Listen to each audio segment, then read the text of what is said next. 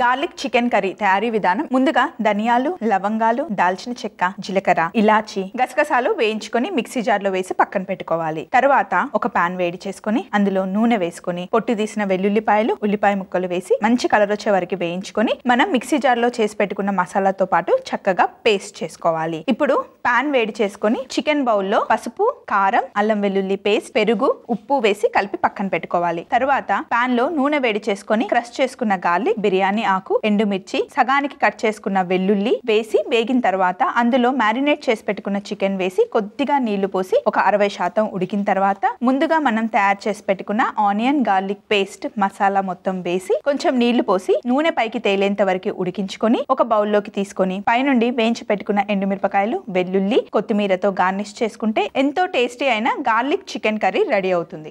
ఇప్పుడు యూట్యూబ్లో ఈటీవీ అభిరుచి ఛానల్ ఉంటుంది. దాన్ని సబ్స్క్రైబ్ చేసుకోండి. మన ప్రోగ్రామ్స్ అన్నీ మీకు వీలైన టైంలో చూసుకొని చక్కగా ఎంజాయ్ చేయండి.